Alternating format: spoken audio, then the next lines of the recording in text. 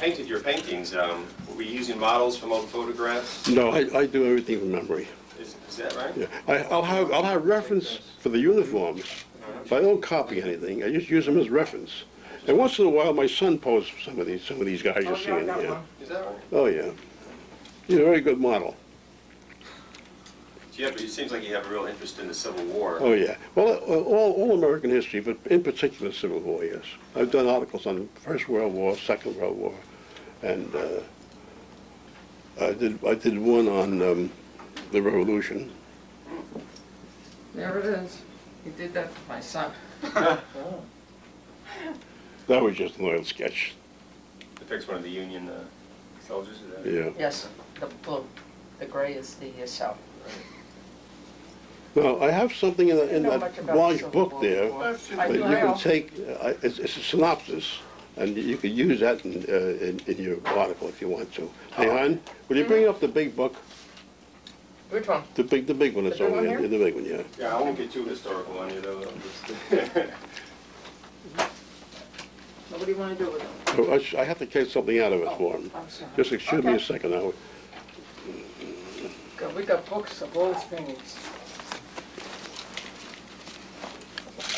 When any of my friends' children got married, Okay, they this, didn't want the money. this is from the wanted Poughkeepsie. Journal. So they all have a painting. This, this may help you in, in, in uh, writing your Oh, article. great. Oops, oops, oops, oops, oops. Okay, we get it. Thank you. that, background sheet. Yeah, it's all there. Actually, Tony was telling me before, Tony, weren't you saying before you went into the you- regular army, you were Yes. with the 14th Yes, New York? right at the Pearl Harbor, I enlisted with them, and um, thinking that they were going to be mustered into federal service quickly, but they, they weren't right. With the, the original regiment was already gone.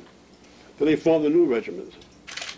That's the one I was in, and um, I found out the nine months that they, they weren't quite ready to, to go into federal service. So I went, I enlisted in the regular army. So he actually was in the regiment, that, uh, descended, same regiment as in the painting, but The 14th? Yeah. Uh-huh. 80 years later. I was part of it. Awful lot of pride in that outfit. Even, even the successor units had a lot of pride. Would you like to get, a- would you like to get a shot of Mr. Mateo holding one of the paintings, perhaps? Would that be good for you? Want a small one? Which Or one does do that you look want? too staged? Which one do you want? Okay. Want me to hold the painting? All right, Well, so we're then gonna be throw doing that. Yeah, one of, one of the 14th. Now, How about this one? Yeah, that looks good. I Oh, think, the torn flag? That's a colorful one, yeah. Oh, this, this is a beauty. Yeah. No, Is that okay? Can you? Did you ever hear within- Colonel Within Gary? range? Yes. Tony made Christmas cards for He him. was I always telling had me to be that. about World War, about the Civil War. And I think I've actually come across a couple of those You probably have. in papers. And then he drew a picture of him. What battle And was when that he died, taking place there? His daughter put it in the, I Well, don't know. this, uh, well, this is, uh, it's, yeah, it was used as a frontispiece for an article, a magazine article, it was used as a frontispiece. But it, it depicts the 14th, in, in, they were in, they were in, uh, I think, 19 engagements with the enemy, Is that right? the Civil War, yeah. Yeah, they were almost decimated at Gettysburg in the first. Oh, Okay, yeah. no, they started out from Brooklyn in 1861 with no- about 900 men. And uh, when they come back, when they were out of federal service, they come home to Brooklyn, there were fewer than 100 men marched in the parade. Wow. The rest of them were either captured, dead, or, um, or missing.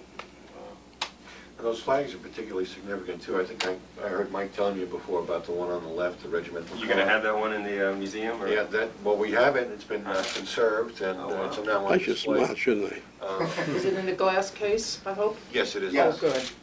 And, but the two, the two smaller ones are very interesting too, um, because those were called marker flags or or guide flags. And um, you know, a lot of people think that, uh, you know, the reason they all stood like shoulder to shoulder and shot close at each other, standing up, was because we just didn't know any better. That's right. But they had to do that because of the way the weapons were in those days. If you didn't stand shoulder to shoulder and fire, you couldn't get any kind of accuracy or if- an impact on your enemy. I see. And there's so much smoke coming out of the black powder of these things. Mhm. that The only way you could tell whether you went to the right place or your unit was going forward or back was by reference to those flags. The two big ones in the middle and the two little ones on the sides. Okay. That's how you could tell whether, you know, we're winning, we're losing, I'm where I'm supposed to be, Uh-huh. because you couldn't see anything else with all the smoke. Hey, I learned something just now also. That's one thing about World War II, we were spread out. We was, most, most of World War II was fought on the highways. Yes. So we, we. Want me to take that for you, just- we- Very, very seldom did we come in- into, uh, into close contact with the enemy. Uh, And uh, it was okay with me, you know? Because one-on-one business is terrible. But we had um, a lot of action, but it was not, not very close. You were in the army in, uh, during the war in Europe? Or In Italy, uh, African Italy. After Italy? Tell them what you did in the army. Tom, my name Well, they, they, they yanked me out of the infantry and made me a, a, a- well, I had experience in, in drawing. I was a, I was a map overlay maker. Oh, what? The, uh, Map- map? Make, I'm make, making map overlays. Program, also with the New York State Military Museum. In fact, he still keeps the fourth corps together, whoever. Yeah, we still have reunions. living. After all these years, we still have Since reunions. 1952. We meet, we meet about every year or What- two. what's- What is your unit again? The, uh, The Headquarters, Fourth Corps. We were part of the Fifth Army. You're familiar with that colonel, right? Right, Yeah. with, um, Yeah. Mark Clark, Mark Clark, uh, right in the way up the boot of Italy. was your, was your rank, Anthony, when you got out? sergeant. Sergeant? It was, I see, I was an artillery officer, I know the importance of those overlays.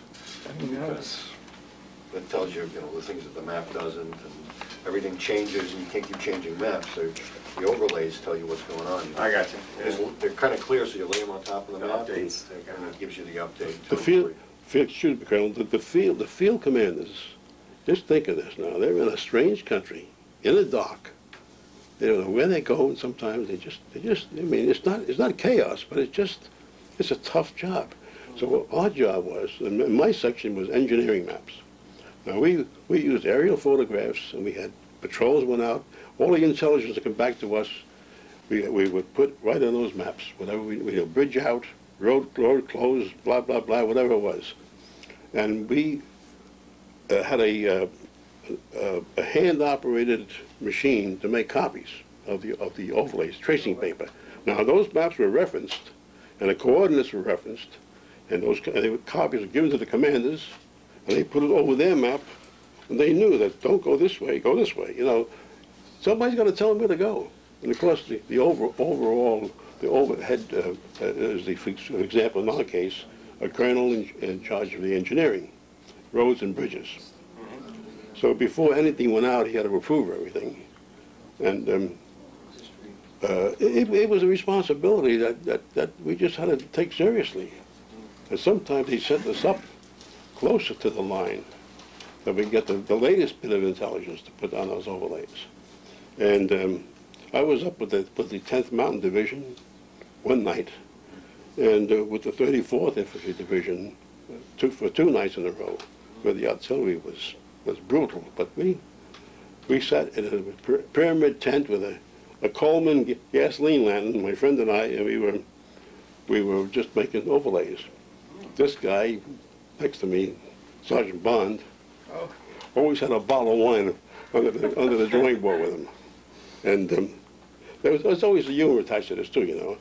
And he used to say, don't worry about these shells whistling overhead. Why? Well, what do you mean, don't worry? Because my father was in the First World War, and he said, you'll never hear the one that hits you. And I said, you know, I says, Ted, I says, I feel better now, she told me that. I really feel better, you know. That's the kind of a guy he was. Teddy, tell them what you did after the war was over. You couldn't go home right away. The what? What you couldn't do after the war was over. You couldn't go home. Oh, yeah. So Yeah, why don't, why don't we begin the interview and get this stuff Yeah. on Sure. camera? Yeah. Go cameras ahead. roll. Yes, Sure, whatever you want, whatever Okay, you want to um, do, yes. I'm, I'm going to start uh, very informally with some Sure. informal questions. and then- Okay, take the vote, sit down, Kathy. Okay. Uh, This is an interview Friday, April 12th, year 2002, approximately 10:30 a.m. at the home of Anthony Battillo, Hyde Park, New York.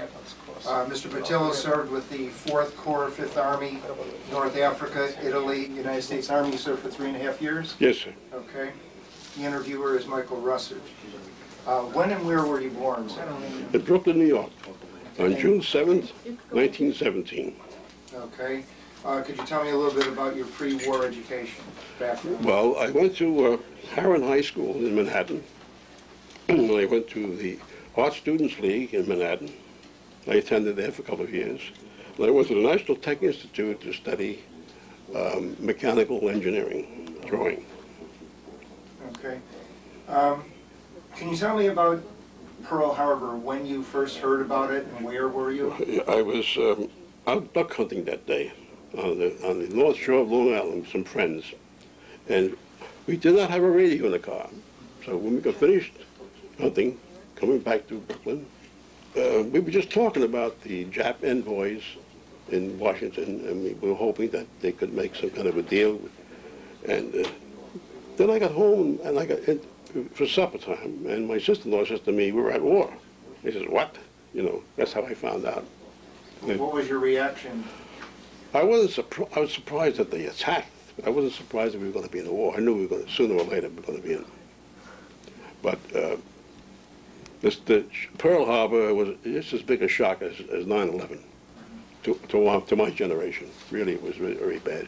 And when you look at the casualty, uh, it was 20. I think it was 2,400 at Pearl Harbor, and this, this is a little under under 3,000 in New York and in Washington and Pennsylvania. But, um, you know, you know, it was a shock to us all, yeah. Uh, When did you enter service? Right, shortly at the Pearl Harbor, Uh, So you volunteered. yes, How old were you when you uh, volunteered? 25. Why did you pick the Army? I liked it. I just like the Army. Okay, why don't you uh, start maybe in a chronological order, telling about your basic training, when and where? Okay. and Your unit assignment? Basic training started in Camp Shelby, Mississippi in um, October of 1942. And after basic training, I was assigned to the 4th Corps headquarters in um, Camp Beauregard, Louisiana. And there is where they found out that I, I had engineering drawing experience, and they asked me to go into the engineers section of the Corps to do overlays and other things too after, after we, our European campaigns were over, they asked me to do combat illustration. And I did several publications for the Army. The main reason why they didn't send me home when the, when the, when the Corps went home, they wanted me to finish up uh, history of, um, of the Italian campaigns, you know, written and illustrated. Well, they kept me there about six more months. I didn't mind. We were having a lot of fun. I was single, you know. Girls, wine, woman, song, you know. My wife didn't know me then. So um, that, was, it, it was a good experience, very good. Now, in, uh, in basic training, the 85th Infantry Division, it, it was tough going. For three months, we had real, I mean, they really told us in plain English, you civilian idiots are going to be soldiers in, within six to eight weeks. And they weren't kidding. They weren't kidding. They, they gave us, they put us through all the, all the, um, all the training you could think of, like, for example, get up at three o'clock in the morning and walk to a swamp. Very, very interesting, you know, things like that.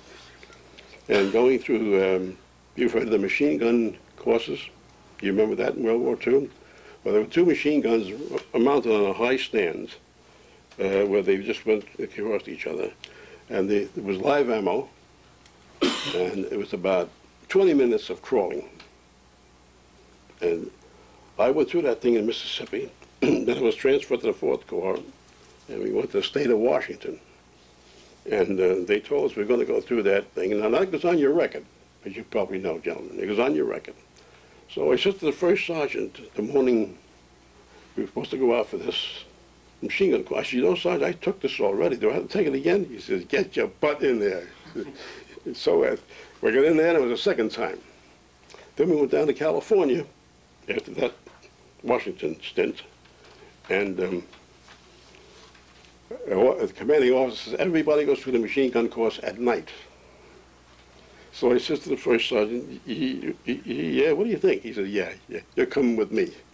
So um, we were going through the, we went through the course together, and uh, I was holding the barbed wire up so he can get through, you know.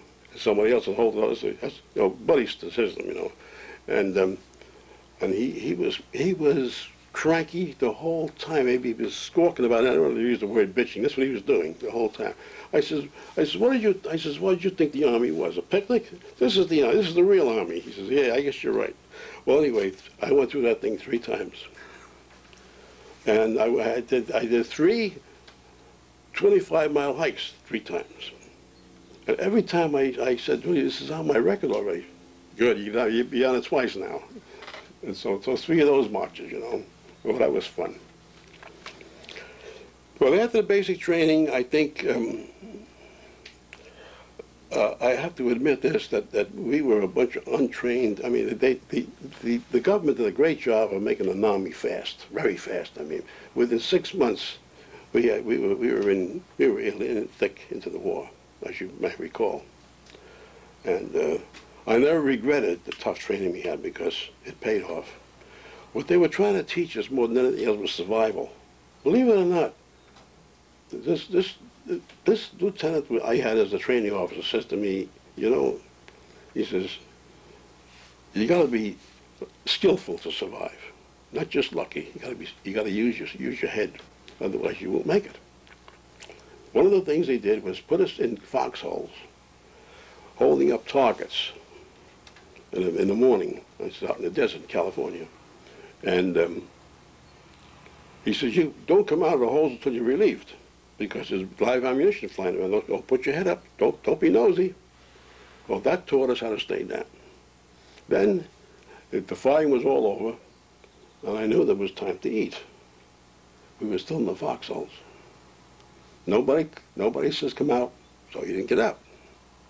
So, four o'clock in the afternoon, we just had breakfast that day. The guys were in the hold. And when the lieutenant came around, he said, okay, you guys come out now. I says, I start squawking. I says, you know, I says, we- we're, we're starved. He says, that's what you have to learn in combat. He says, stay where you are until it's safe to come out. And if you don't eat, you don't eat. You'd rather be eaten dead or, or, or hungry and uh, living. You know, that's the way they put it to us. But you see, you see the point, what they were doing? That was tough. Anything else you want to talk about? Well, um, what happened after basic training? As I said, I went to Camp Beauregard, joined the Fourth Corps. And they, found- as I said, they found out about my drafting and, and engineering drawing experience, and they put me in the engineer section, and I learned an awful lot there. It was very good.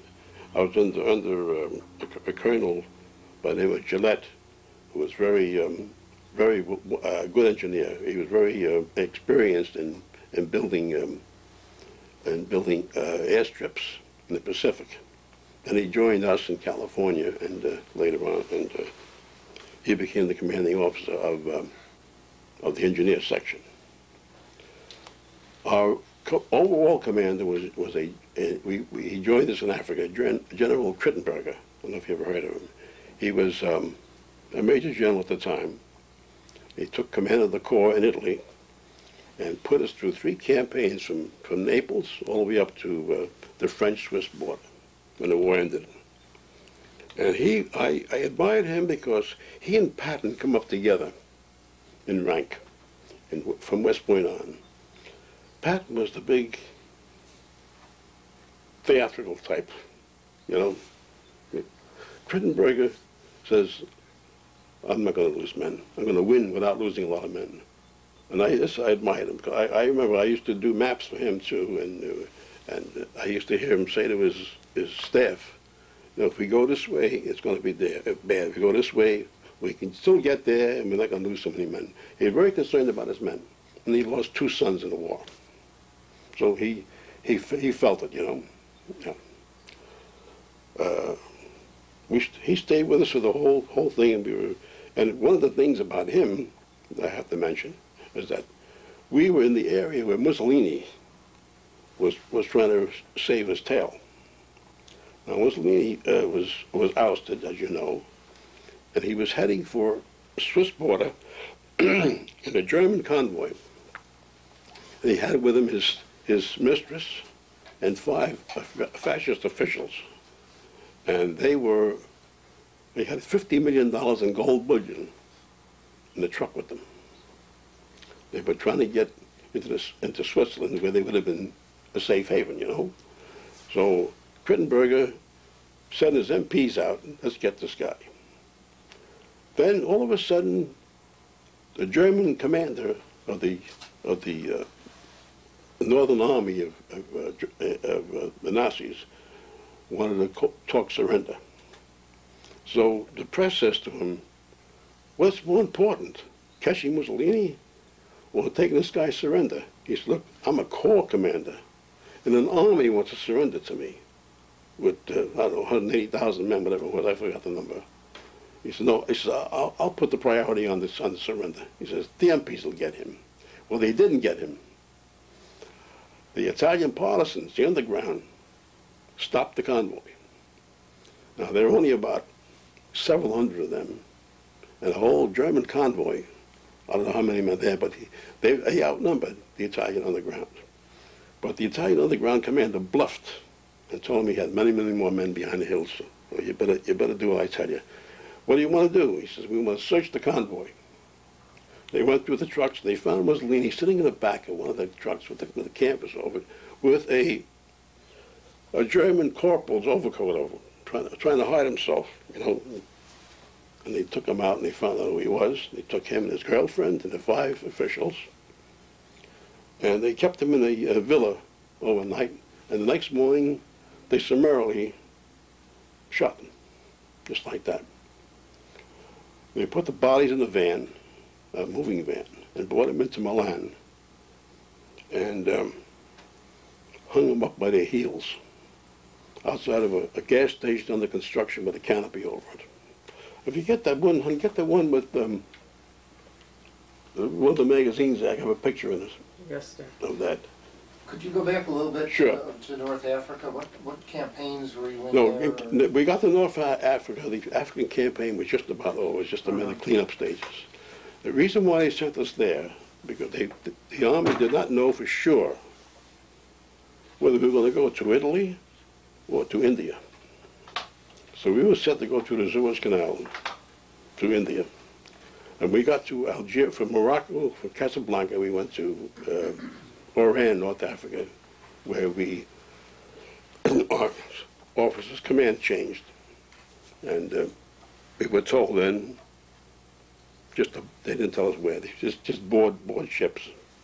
And we went on a, on a 21 ship convoy to Italy. At that time, the, the main front was at uh, Cassino. You recall that name. The Anzio beachhead had already uh, established itself, but they, they were stalled. So we were in the campaign. Our first campaign was to break out the Anzio beachhead.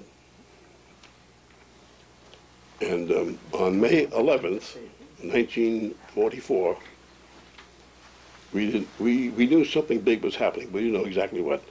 But on, on 11 o'clock that night, a barrage started from the west, the- Mediterranean side of Italy to the Adriatic side, which is about 100 miles.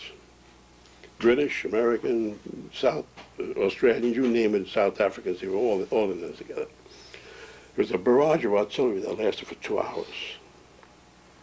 And, and during that time, we moved in with trucks in blackout, doing about 10, 15 miles an hour. And we moved under, under the umbrella of, um, of missiles that lasted for two hours. And we didn't know where we were going. We had no idea. But the next morning, uh, pandemonium ensued. When troops from, from all nations were running all over the place. And finally, the, the beachhead broke out. And then the, then the, then the real the real campaign started for uh, the attack on Rome. And Hitler had said to his people that the Gustav Line, which was a terrific fortification south of Rome, all the way across Italy, was, was impregnable. He says they'll never get through. Well, we got through.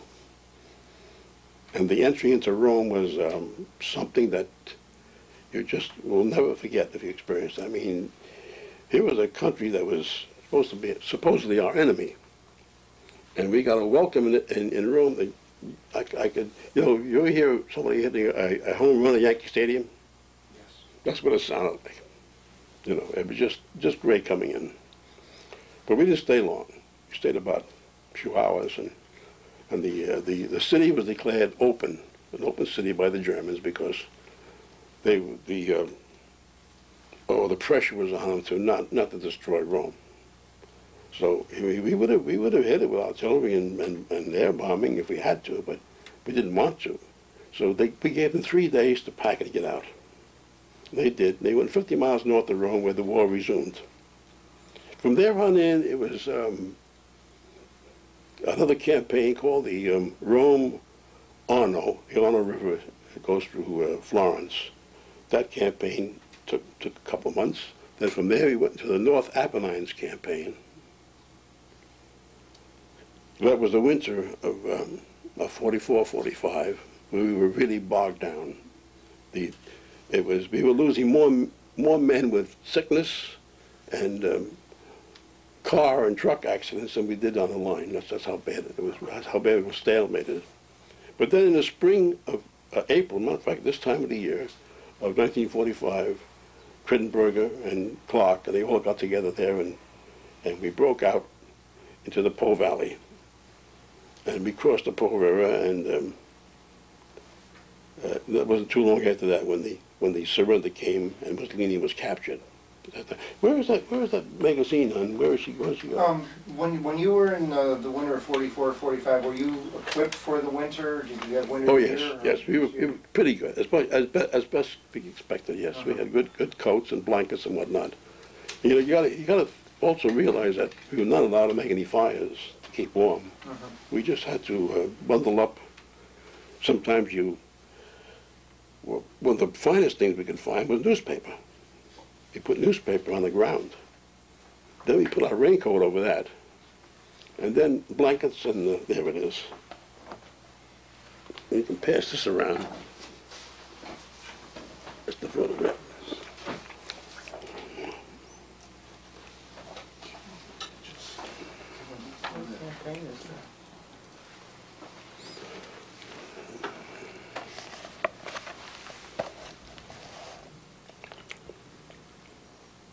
Okay, got it. Now, did you witness, witness this at Yes, all? You yes. saw? Yeah, we were, we, we- there were um, a few of us on the Jeep, we were in Milan, and um, terrific crowd of people. I say from, can you see that house over there, the, the- that greenish house over there? That's about as far as I got, as close as I got to Mussolini. All, all just a mass of people there, civilians.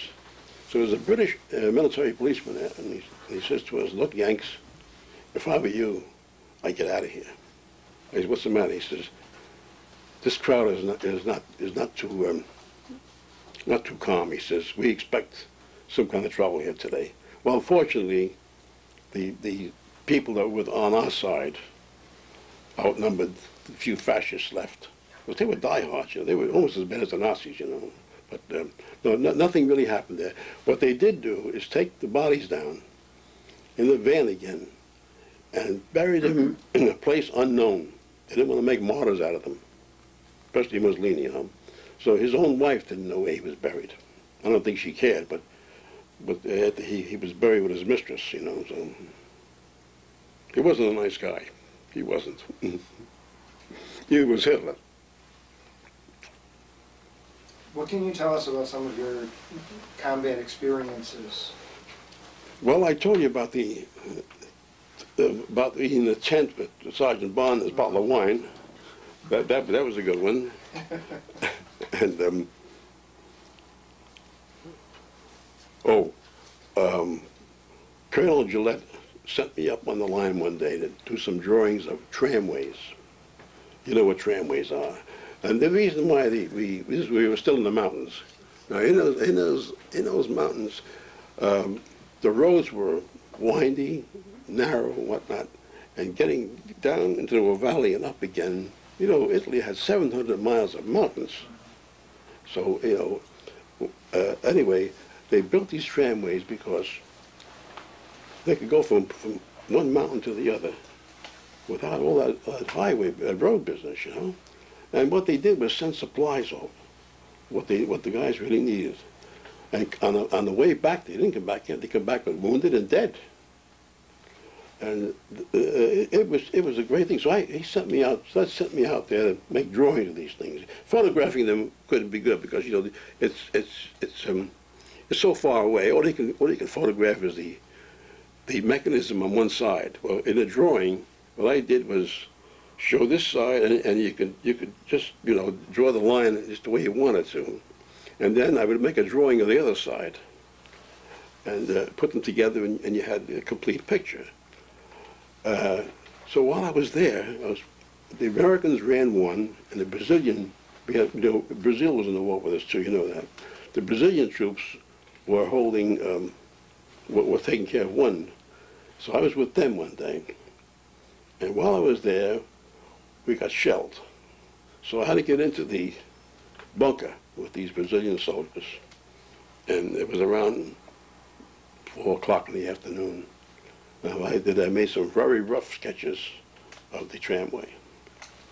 Going back, to, when I got back to my, my post, I would do them over again in ink. Well, anyway, while I was in there, they, they start bringing out some cheese, Italian cheese, and bottles of wine and whatnot, and garlic and what you name it. So when I got back to the camp, it was dark. And Colonel Gillette met me by the tent and he says, he put his arms around me. He says, son, are you all right? I said, yes, I'm fine.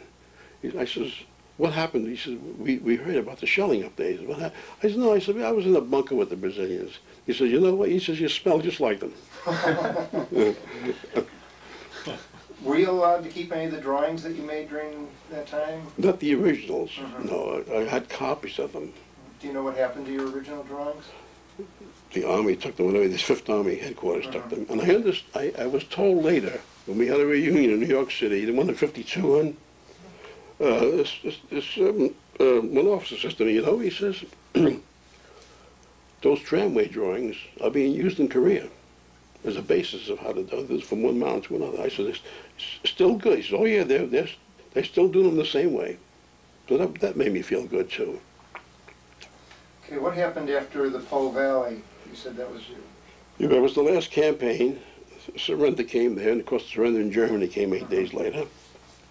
And uh, we, as I said, my group stayed to do historical documentation. Now, it, it, it wasn't just the, the war and the fighting itself. We also had to document what the engineers did in Italy, the number of bridges that they put in, uh, Bailey bridges, temporary bridges, and the number of um, culverts, everything that was, everything that we did repairs. This was all had, to do with, um, in other words, an accountability had to go back to Washington as to what we did over there. Why did we spend all this money? And of course, you know, when, when soldiers broke somebody's fence, you know who paid for it? Well, the, all those bombings, you know, uh, I, I recall that, um, I, a matter of fact, I had, I saw a clipping recently of um, Cassino. After we, after we left Cassino and the war was over, the United States Army actually built, United States government really built a village. Those people that were bombed out, they built, they built new houses for them. So this is the accountability we had to give to, to the government. And, and it, this took about, you know, four or five months. The war ended in May. I got home December 1st.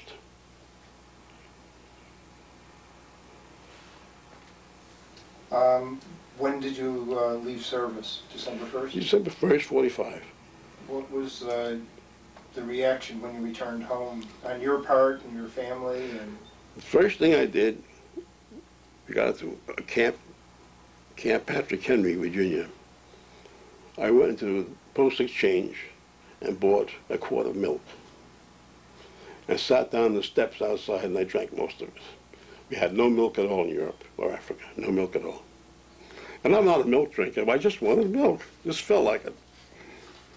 And I kept saying to my friends over in Italy, I said, you know, I can't wait till I get home. I says, I just like to have a ham on rye. I says, I just, I just miss it. You know. Go down to Coney Island, and have a hot dog, something like that. Then I met my wife, who a few months later, who uh, gave the first thing she cooked me was a roast beef dinner on a Saturday. And I says, I'm, I'm going to marry her. She's a good cook. That's not the only reason. What do you think was uh, your most memorable, memorable experience while you were in service? Well, there were a few of them. Um, I'll tell you, yeah, I'll one of them was, uh, I would, I'll tell you this because everybody's familiar with the book of The Greatest Generation. Now, I had a story for him, for uh, Tom Brokaw. Tom Brokaw. I just, and I didn't know he was doing this book. I would have gladly submitted this to him. I'm sure he would have used it. Here- Here's the way it went. there was a fellow close to me in the army. His name was Hendrickson. His first name was Arvo. Now, he was from uh, Upper Michigan, farmer, farm family. And he and his brother, twin brother Arno, Arvo and Arno, were drafted the same day, and an older brother who was 35 years old. And when they went to the, to the draft board, they asked if they could be put together in the same unit. And the draft board says, no, we just had a very bad experience. The Sullivan brothers were lost on one ship. He says, no more brothers together. Okay. So um, Arvo came to my unit, and he, he said, you know, he says, my brother, his older brother, not the young, not the twin, the older brother is in um, in Italy, in a different different unit. So there was a terrific fight going on around a place called Santa Maria, south of Rome. As we were going through in transit, we stopped, truck stopped, there was a, uh, a kitchen for, for transients. It was, it was a big uh, Italian barn or, or warehouse, whatever you want to call it. So we then had a kitchen set up. We in our own mess kits and eating. And um, as we were going through the line, we saw this huge uh, rack of shelves with American Army duffel bags packed on there. And, and Henriksen says to me, hey, Tony, you know what? He says, my brother must be in the area somewhere. There's his duffel bag. But his name is stenciled on, you know. So I didn't say anything. I said, oh, that's nice. Well, we go through the line, and I was thinking, why is this duffel bag there? Well, there was a uh, military police uh, guarding these bags. So uh, after the uh, lunch was over, he went to wash his mess kit and went outside to the truck, and I went back to the MP. And I says to him, can I ask you a question? He says, what, what are these bags doing here? And I told him about Henriksen. He says, well, he says, I don't know if you want to tell him. These guys are all dead. They were all killed at Santa Maria. Must have been about a hundred bags up there, you know. So I didn't say anything to him. I had to, I had to really do some soul searching. I says, why, why am I going to upset him? Let him, let him hear it through family. You know, I don't, I, it, I don't think it was my duty to, to say it, you know. So, um, uh, about two weeks later, I saw him sitting under a tree with a handkerchief in his hand. I says, what, what's the matter? Oh, he says, my brother was killed. Oh, I says, oh, I'm sorry to hear that. You know, I had a, I had a, you know, you- can you see my point? I, I just didn't want to be the guy to tell him. Then uh, uh, I said to him, look, uh, let- let's do something. Let's go to our captain and ask him if we can go to your, your brother's company commander and he get more information about your brother's death. Well, we did. We, found out where, the, where his brother's unit was. They were in a rest area, so in the woods. So we went there, and there, there there's. We asked uh, Captain so and he was playing cards, on, uh, sitting on the ground playing cards. And we says, "I'm sorry, would you mind?" Um, I says, "This is this is this gentleman here is Henriksen." I says, "His brother was in your unit. He was killed." So he never he never even looked up from his cards. He says, "Your brother didn't know what hit him." He says, "He was killed immediately." That's all I can tell you. Just like that. So we, we got back on our Jeep and went back home. Of course, it didn't make Henderson feel too good, you know. But, I mean, this guy, was this guy was shaken up. This captain was shaken up. He, he wasn't being nasty. He just was shaken. Just to, to know that he was talking to the brother of one of his men, you know. Well, that's not the end of the story. About a month later, he got uh, a letter from home saying that his father died of a heart attack. Then the, the campaign started in, in France at the D-Day, and the twin brother was burned badly in a tank. And he went back to Walter Reed Hospital by air in a basket. He was burned from head to foot. His mother died with a heart attack. So he got home and uh, to me in, in January of 46. He says to me, I'm back in the army. He says, there's nothing for me to stay home for. My parents are gone. My brother is dead. My other brother is, we don't know what's going to happen to him. He's still in Walter Reed Hospital. He says, and I, I, I was, I had to, I, I, if the farm is sold, he says, there's no reason for me to stay here at all. So he went back in the army, got married, and, and he asked for, for a assignment in Tokyo. Okay, we must Okay. let this happen. We'll go to a, s- no,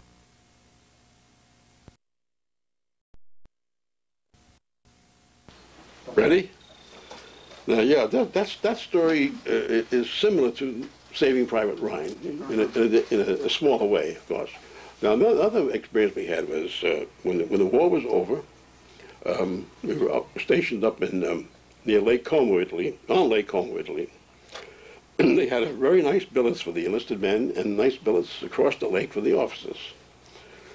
So this fellow in my outfit, his, name was Casey told me his father, he got, a, he got the notice from home that his father died. They were going to hold the body for five days if he could come home. So uh, he says, he spoke to the captain. The captain says, I'll see what I can do for you. And the captain says, I can't do much. He says, I got a hold of the chaplain. I got a hold of the Red Cross. A hold of the commanding officer. He says, and they're all, they're all stalling me. so we sat there, and he was kind of, he was really kind of down the dumps, you know. And he said, um, I really don't. I said, I'm just going to see if I can get a telegram home and tell them to, I can't make it. I said, wait a minute. I said, Casey, hold on, hold on. Let's just get a boat, go across the lake, go to the officers club over there. Your senator from Massachusetts is in our outfit. His name is Lodge. You remember Senator Lodge? He was a colonel in the Fourth Corps. Let's go over and see him. So we got into a boat and we went across the river, across the lake, and um, there was a party going on in the officers' club. So the MP at the door says, "Hey, listen, we we can't." Uh, I said, "Wait a minute." I told him the story about his father. I says, "Get Senator Lodge out here just for a minute." So he went on. and The senator came out, and he was he was a lieutenant colonel. We told him the story. He says, "What's your name?" And told him John Casey. He says, "Casey, I'll be with you the first thing in the morning." First thing in the morning, he, he came across the lake and he says, uh, there's a truck waiting for you to take you to, to Genoa. There's a plane going back to the States. He says, you just stay there and we'll, we'll discharge you from there. so he says to me, gee, he says, thanks, he says to me, thanks for the suggestion. He says, what can I do for you? I says, will you do me one thing? I says, make sure you have a, a nickel in your pocket and call my mother when you get to the States. Let's just tell her I'm okay. And he did. I said, I'll give you the nickel. He said, no, no, no, no, no it's okay. But that, that's something I never forgot because it really, you know, I don't know how, how Senator Lodge came to me. This guy was from Boston. I said, look, Casey, he's, he's your senator. Come on. Let him work for you. you know, and that's what happened. It worked. um, what happened after the war? Could you tell a little bit more about your background after the war? Yes, um, I was trying to do freelance artwork, and it, it was tough going, really tough going. And I had to bring my sister into this. This is before I met now. I had, a, old, I had two older sisters. They were wonderful. They were like mo- extra mothers, you know. And I went to talk to my sister one day, and she and I said you know, I said, I'm getting really discouraged. This freelancing, you know, I got a job for five hundred dollars, and then I don't get another job for six weeks. I says, what does that average out to, you know? It's a tough way to make a living. She says, look, she says, why don't you do this? She says, why don't you go back to school and take something that has more sales value? Like um, something to do with your, your engineering. And, uh, you know, there's so much industry going on. I- says, that's a good idea. She said, you can always do this on the side. So I that's fine, wonderful advice. So I went down to a school in Brooklyn, and I, I, I registered, and it- what it was is a, a crash course for, for, G, for uh, GIs. There were, there were many of them around the country where they just, instead of, instead of going to school for four years, you could do it in two years. But it was tough going. I mean, you, like for example, I had one, I had five hours a day of one subject for a year. That's, that's, that's, that's a grind for any student, right? Yes. Well, I I would never regret it because after I graduated, meanwhile I had met this little charming girl over here, and um, we, were, we got engaged very quickly. I said, "Now we don't not going to get married, and so it, I get some work, some a job." Okay. Well, that didn't take long. After I graduated from school, I was certified, and I uh, I says, "Now where do you want to live?" She says, "Wherever you can find a good job is where we live." So that was that was a, a big plus for me because some women don't want to leave home, you know, or leave mama. But anyway, Lillian was ready to, to move anywhere. So I went upstate from Brooklyn, and um, and I was I was talking to my brother, and his friend came in, and he says to me, I was telling him what I was going to do. He says, he says, where you headed? I said, I'm headed for Schenectady. I says, General Electric is up there, and I says, um, American Locomotive is around. I says, I'll, I'll find something. If that doesn't work, I'm going to Detroit. I'll try the automobile business. So he says, look, he says, "I- there's a, there's a place in Kingston here that's looking for a, a designer, mechanical designer. I says, oh. The name of the place was called Electrol Incorporated. They were doing hydraulics for the um, Air Force. So I went there and I, I got hired like that. And um, it, it wasn't a great paying job, but it was a very good um, career start. And I was young yet, you know. And uh, I stayed there for four years, and from there I went to IBM in Poughkeepsie here. And that's where we moved and bought this house. No, that, that's, that's the way my career went. So, so all those years, I recuperated well from polio. I really did. Lillian can tell you, I was walking without a cane. I was, I was driving a car, no trouble. I did work on this house here and cut the grass until I was 78 years old, you know. And um, during all that time, I was doing magazine work on the side, an IBM job, which was, uh, I was in management doing um, uh, manuals. And the artwork I directed, the text preparation I directed, the page layout, and the printing. I charged the whole production for 25 years. That was, it paid well, and it was a very satisfying, very satisfying career. And um, I retired early.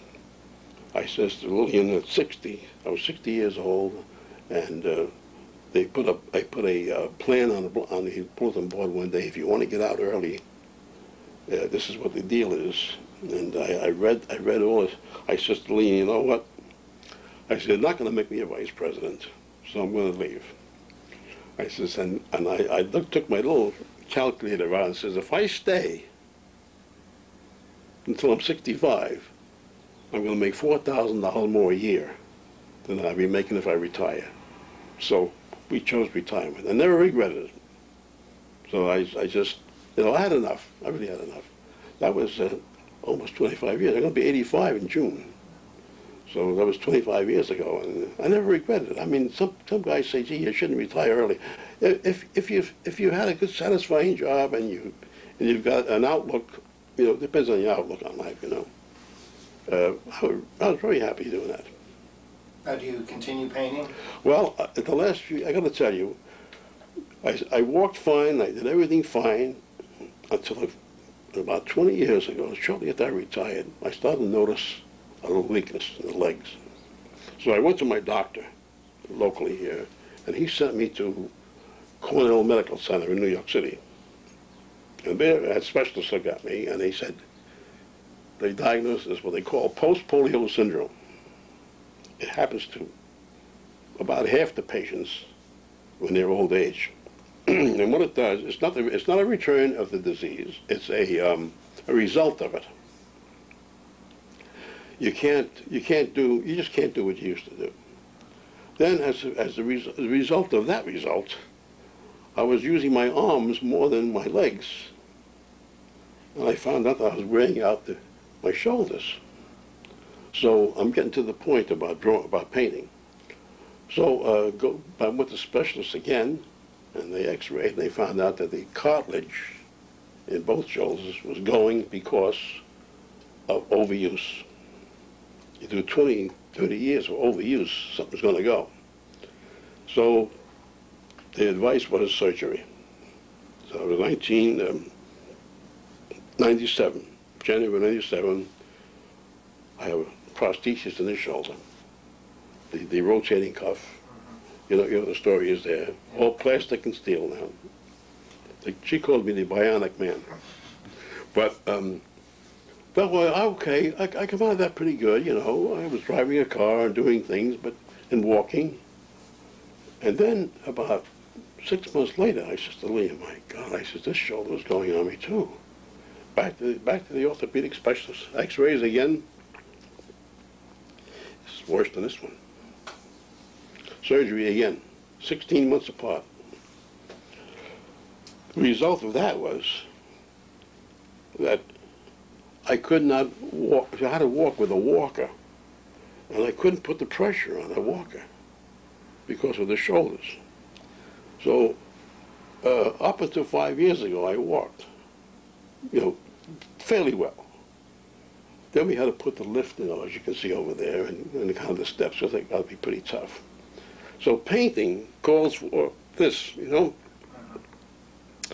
My arms can't take it, shoulders can't take it. And if you lean on something, you, you, you may say, oh, painting, you just sit down and paint. You know, you gotta, you gotta put yourself into that thing. You you gotta put, not just the time, but there's a, there's a physical effort that you, you can't believe. And if you don't have the muscle power to do it, you just can't do it. So I haven't painted, but I've done a lot of drawing since I just playing, where I can lean on a drawing board. And, you know, but that, that's, that's a great help. And and I, st- I still feel that I'm a diehard. I feel that I'm going to make my best painting yet. I hope I can do it. I don't know if I can. I'm going to try. Well, we look forward to seeing it. I'd like to thank you very much for your, That's my pleasure, really. Are you guys almost ready for coffee? you do too, was have you explained, we'll hold up some of the paintings, and Okay, have you sure. explained especially, you know, a couple of the stories you told Sure. us.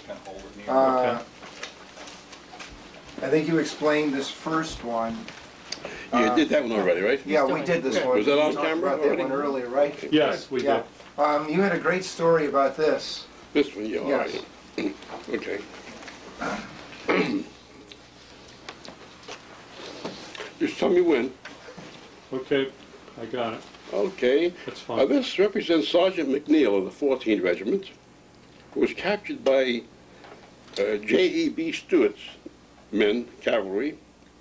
And as a prisoner, he was interviewed by the general, who says to him, if you stay with us, we'll give you a, a higher rank and a horse, you can be a Southern cavalryman. And, and I'm showing him here saying, you can offer me no inducement great enough to make me fight against the Union. Well, not too long after that, he was paroled, sent back to the 14th Regiment, and in due time, he was promoted to captain. That's a story on, on Sergeant McNeil. Now this one, excuse me, this one shows Sergeant Frank Head, who was the color bearer of the 14th. He was 21 years old, and the the first hour of the, of the Battle of um, Bull Run, the first Bull Run, he was struck in the chest by a bullet, and when he went down, his friends came to him, tried to help him, and he said, his famous words were, never mind me, boys, save the colors. And he was taken away and uh, died a short time later. 21 years old. Became immortal. Okay? Like, you.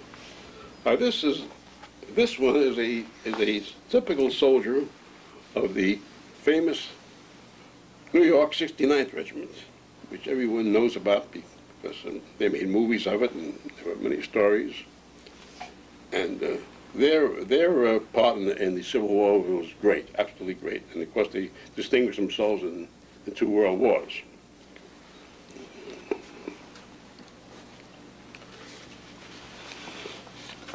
Am I sure that okay? Fine. Uh, the night before the first Battle of Bull Run, the 14th Regiment fellows got together. They would they would sat around a, a campfire singing songs. And they were joined with the blue blue pants fellows you see here, uh, from other, other units, and they, um, they just had a great time singing songs about, mostly about home and family. Okay. This is another version of, um, of Sergeant, um, Head, Frank Head, at the time he was shot. It, it's a, it's a, it's a mate, mate to the one I showed you first. Um, okay, thank you.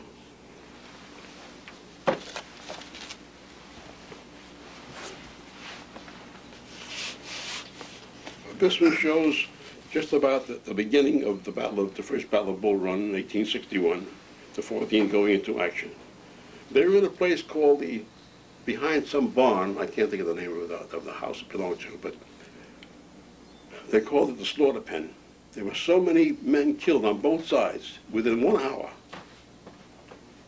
And the Battle of Bull Run was um, really lost by the North. Of fact, both, matter of fact, few people realize it, but this, the North was losing the war until Gettysburg. They weren't doing too well. Gettysburg turned the tide. Okay.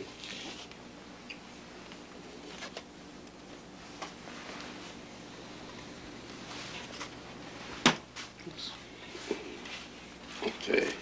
We can both hold this one, all right? Yes, sir. Do you see that one all right? Fine. Okay. This one was used for the, for the cover of um, Civil War Times in um, 1972.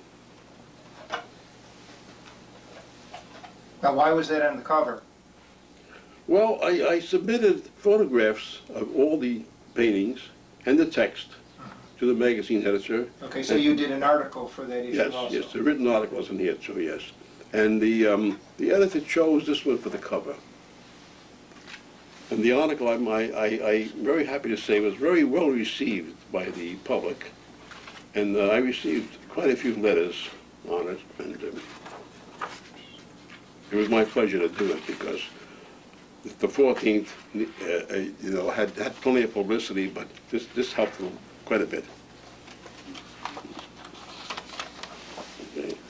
Oops, I'm sorry, there's the, That's there's the, there's the frontispiece and the beginning of the story there.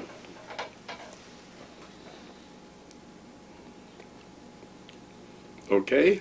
Why did you have so much interest in the 14th Brooklyn? Well, first of all, my older brother was in it when I was a kid. And then I joined it myself. So, and everybody in that neighborhood in Brooklyn, you know, the 14th was, was part of our, part of our culture, you might say, you know, in, in that particular area of Brooklyn, South Brooklyn. So they were all, um, and I said to you before, the, the, uh, the pride, when I was in it, I couldn't believe that these young fellows who had fathers and brothers in it before us, like I did, you know, they, they took a great pride in being part of the 14. You know, it should be that way. In, in, I think that's what a lot of people don't realize, the- how much of a social Yes, uh, group these yes.